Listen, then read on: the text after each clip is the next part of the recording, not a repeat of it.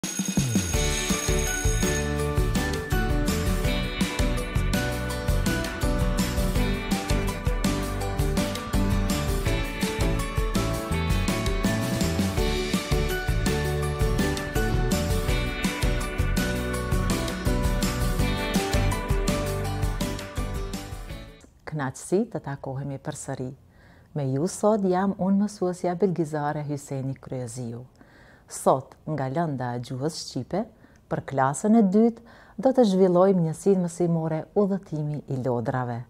Këtë njësi mësimore do ta gjeni në librat tuaja faqe tridhjetë e gjashtë dhe faqe tridhjetë e shtatë. Unë e di se ju pëlqejnë shumë lodrat. Ato pos që janë argëtuese, me to mund edhe të komunikoni, të zhvilloni aftësi të ndryshme si në matematikë, gjuhë, shkencë e tjera. Por si kujdeseni ju për to? Kujdeseni sikur personazhi që e kemi sot në poezi apo më ndryshe? Do ta kuptojmë nga ajo që do të lexojmë sot. Në ekran po shohim një vajzë me një pako me lodra. Ajo është shumë e lumtur që i ka gjetur lodrat në vendin e vet. Domethënë gjithçka është në mënyrën më të mirë.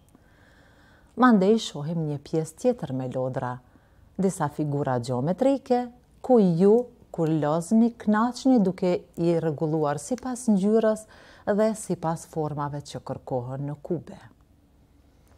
Këtu po shohim një lodër raketë, ku ju me atë imagjinatën tuaj shumë të magjishme ju duket sikur po fluturoni në hapësirë, herë herë edhe eksploroni. Këtu po shohim një lloj tjetër të lodrave, ku ju me pjesët e tyre formoni figura që ato kërkohet. Këtu po shohim një lloj tjetër të lodrave ku ju me pjesët e tyre një nga një i bashkoni dhe formoni figurën që kërkohet. Mandej një vajzë e cila është shumë e gëzuar që në krah ka lepurushin e saj. Po ashtu shohim një lepurush të bardhë dhe shumë të bukur që juve ju pëlqen shumë sigurisht. Mandej shohim një vajzë shumë të vogël e cila nga pakoja e saj nxjerr lodrat një nga një. Mandej një arush tjetër që ju sigurisht e dëshironi shumë. Po ashtu edhe disa lodra tjera, për shembull një makinë, top, një instrument muzikor, disa kube me ngjyra, një aeroplan lodër, anije lodër e tjera. Dhe në fund kemi një tren ku juve ju pëlqen ajo pjesa ku i bashkoni pjesët e trenit një e nga një dhe e futni trenin në lëvizje. Po tani çfarë po shohim? Sigurisht është një pamje që nuk do t'ju pëlqejë aspak. Po të ishit në një dhomë të këtillë, a do të mund të gjenit lodrën që kërkoni? Shikoni një fëmijë në mes të lodrave. Ai gjendet në një dhomë ku është një rrëmujë e vërtetë. Sigurisht është një pamje që s'do të na pëlqente as neve, po edhe juve jo. Pamja që po shohim është më ndryshe, është më e bukur. Çdo gjë është në vendin e vet. Dhe sigurisht që na pëlqen të kemi edhe ne një kësi lloj organizimi edhe në shtëpi, po edhe në klasë apo kudo që ndodheni. Gjithashtu edhe një pamje tjetër shumë e bukur e organizimit të lodrave nëpër vendet e tyre. Tani kam disa pyetje për ju. A keni shumë lodra në shtëpi? Dhe përgjigja juaj sigurisht që do të jetë se po. A ju vini emër lodrave tuaja? Besoj që po, sidomos nëse keni ndonjë arush apo lepurush, ju keni dëshirë që t'i vendosni ndonjë emër dhe të komunikoni shpesh me të. Madje madje mund ta bëni edhe shokun më të mirë të jetës. Si ndjeheni ju kur nuk e gjeni një lodër? qani, mërziteni, apo filloni të kërkoni menjëherë. Sigurisht është një ndjenjë jo e këndshme, por në momentin që e gjeni, harroni atë ndjenjë të pakëndshme që e keni pas. Dhe si veproni për ta gjetur, gjetur një lodër, kërkoni ndihmën e prindërve apo të motrës apo filloni të hulumtoni edhe më shumë, kjo varet nga ju.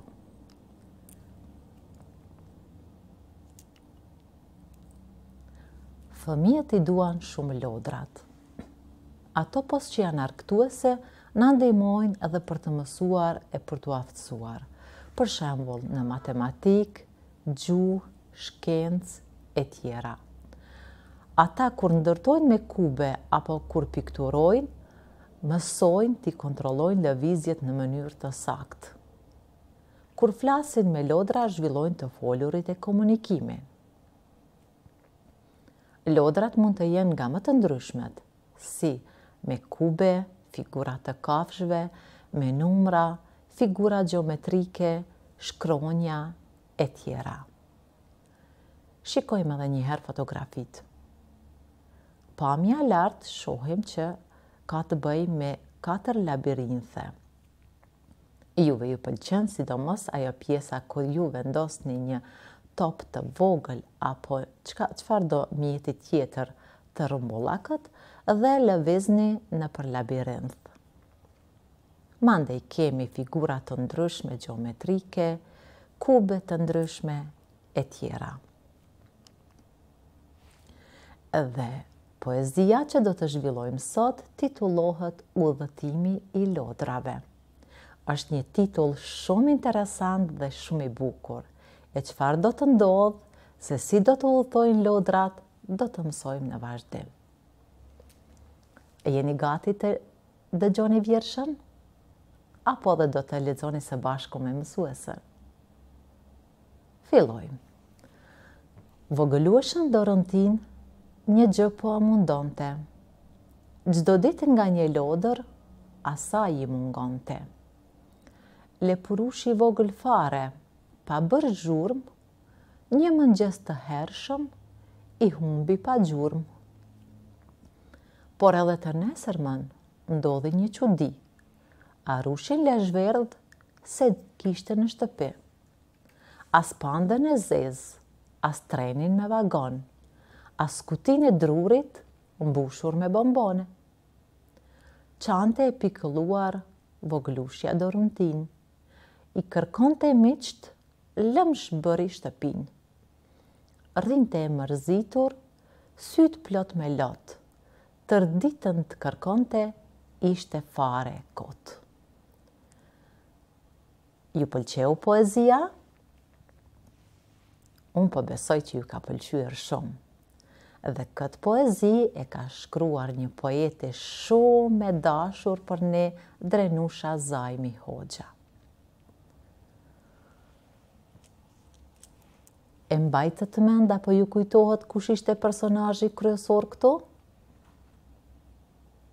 Ishte Doruntina, ishte ajo që po qan. Shikojeni fotografinë poshtë.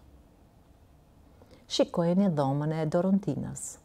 Është një rrëmujë e vërtetë. Ju sigurisht nuk do ta sillni në këtë gjendje dhomën tuaj. Pra, Doruntina nuk i gjente dot lodrat. Titulli na thot se ato udhëtonin. Po kush i kishte fajet këtu? Lodrat apo Doruntina? Do ta mësojmë më vonë dhe do ta përsërisim nga ajo që e keni mësuar deri tani. Këtu kemi edhe pandën e zezë, e cila i ka humbur Doruntinës, mandej kemi një pamje shumë të bukur e cila na tregon se po t'i vendoste Doruntina lodrat në pako, po t'i sistemonte mirë, ajo nuk do të krijonte këtë rrëmujë në dhomë. Pra ishte faji ndoshta i Doruntinës. Do ta kuptojmë më vonë. Ne e shikuam figurën dhe do të tregojmë se çfarë ka ndodh. Çka po na tregon figura, domethonë, po na tregon një rrëmujë në dhomën e Doruntinës. Kemi pyetjen tjetër, Çfarë e mundon Doruntinën? Ju kujtohet çfarë e mundon Doruntinën? Gjejeni para përgjigjes së mësueses. Pra, Doruntinën e mundon fakti se asaj i mungonte çdo ditë nga një lodër. Dhe kemi nën tre rendit lodrat që i humbën Doruntinës. Në fillim i humbi lepurushi i vogël. Më pas humbi arushi leshverdhë.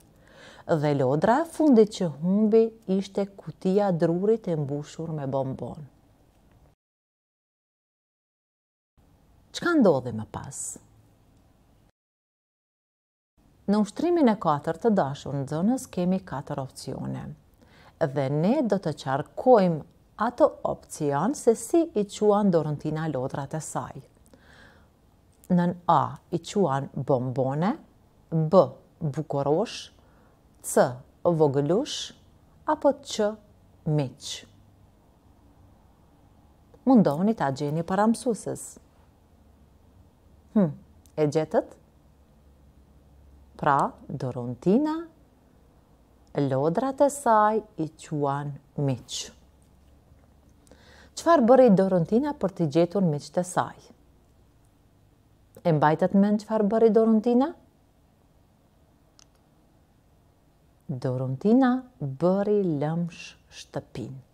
Domethënë, dhomën e shndërroi në një vend jo të këndshëm, në një vend me plot parregullsi. Çdo gjë hodhi në dyshemi. Sigurisht edhe juve nuk do t'ju pëlqejë një pamje e tillë në shtëpinë tuaj, apo edhe në dhomën tuaj. Dhe në ushtrimin e gjashtë do të lidhim me shigjetë lodrën e Doruntinës me karakteristikën e saj. Për shembull, si ishte lepurushi? Ju kujtohet si ishte lepurushi? Mundohuni ta gjeni para mësueses si ishte lepurushi? Pra lepurushi ishte i vogël. Po arushi, si ishte arushi? Arushi ishte leshverdhë. Po panda? Ju kujtohet panda si ishte? Panda ishte e zezë. Kurse për trenin dhe kutinë Do të vendosni ju shigjetën, do t'i lidhni domethënë lodrën me karakteristikën e vet. Dhe në ushtrimin e shtatë do të tregojmë kuptimin e shprehjeve të mëposhtme. Bashkë me mësuesen do t'i gjejmë dy, kurse dy të tjerat ju do të hulumtoni dhe do të gjeni bashkë me prindërit apo me ndihmën e motrës apo vëllait. Për shembull, Shprehja humbi pa gjurmë, si mund ta themi ndryshe këtë shprehje? Humbi pa gjurmë apo u zhduk. Po shprehja tjetër qante e pikëlluar. Si mund të jetë ndryshe? Mendojeni pak. Qante e pikëlluar apo ndryshe mund të themi qante e mërzitur, kurse dy të tjerat, domethënë shprehjet që ne nuk i kemi zgjidh, do të tregoni ju për kuptimin e tyre, bëri lëmsh shtëpinë dhe ishte fare e kotë të kërkonte. Dhe në fund kemi ju pëlqeu poezia? Unë e di që ju ka pëlqyer, sigurisht ju ka pëlqyer. Dhe ajo ju ka dhënë një mesazh shumë të fortë që ju nuk do të veproni njëjtë sikurse Doruntina. Si do të vepronit ju? E thamë edhe më herët që nuk do të vepronit njëjtë si Doruntina. A duhej të ishte më e kujdesshme Doruntina? Dhe unë e di që përgjigjen nga ju do ta marr po. Doruntina do të duhej të ishte më e kujdesshme. Dhe në fund të dashur nxënës, këtë njësi mësimore po e mbyll me një porosi. Çdo fëmijë duhet të tregohet i kujdesshëm për gjërat dhe lodrat e veta.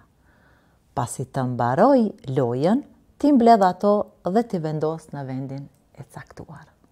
Sigurisht që një gjë të tillë e bëni edhe ju. Kjo ishte e tëra për sot, deri në takimin e radhës, bashkë mirupafshim.